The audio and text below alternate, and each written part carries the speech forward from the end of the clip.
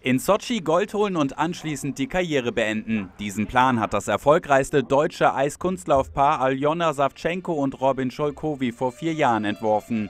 In Chemnitz arbeiten beide nun zusammen mit Trainer Ingo Steuer hart für den glorreichen Schlusspunkt ihrer gemeinsamen Laufbahn. Seit 2003 sind die gebürtige Ukrainerin Savchenko und der Greifswalder Scholkowi ein Paar auf dem Eis. Je viermal holten sie zusammen den Titel bei Welt- und Europameisterschaften. Zudem gewannen sie achtmal die deutsche Meisterschaft, so oft wie kein anderes Paar. Bei den Olympischen Spielen blieb der ganz große Erfolg bisher allerdings aus. 2006 in Turin landete das Duo auf Platz 6, vier Jahre später im kanadischen Vancouver gab es immerhin Bronze. In Sochi haben Savchenko und Tscholkowi mit ihrer Kür zu Tschaikowskis Nussknacker Suite jetzt nur noch Gold im Blick.